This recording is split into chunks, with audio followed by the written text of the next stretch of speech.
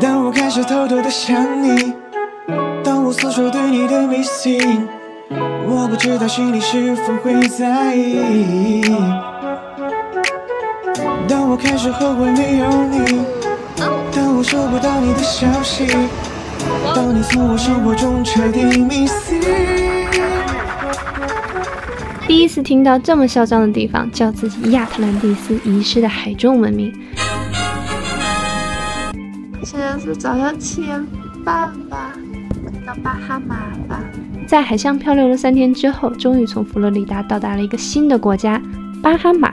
中国护照可以免签三十天哦。我现在在巴哈马，上来的这个港口打扫，感觉这都是游客，好多人。这个国家就是一个平平无奇的旅游国度，除了海就是海，难怪有人敢夸下海口，给酒店起名为亚特兰蒂斯。欢迎来我家大堂，里面确实应有尽有，尤其是花钱项目。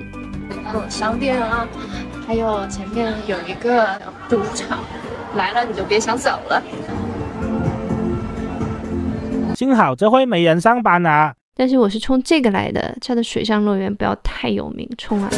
阳光沙滩身边有你，用手抚摸你的身体，海风吹着秀发在空中飘起，美丽的样子让我特别着迷。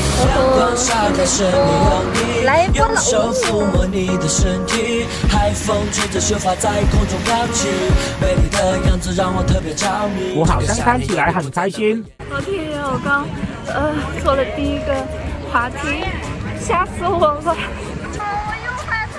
尊重生命，胆小无罪。反正建议胆小的朋友千万不要来，票价二百美金一个人，不多玩，真的回不了本，肉疼，搞得只能去海边做作的拍照片去了。前方高能，Oh baby, you're too late, oh late,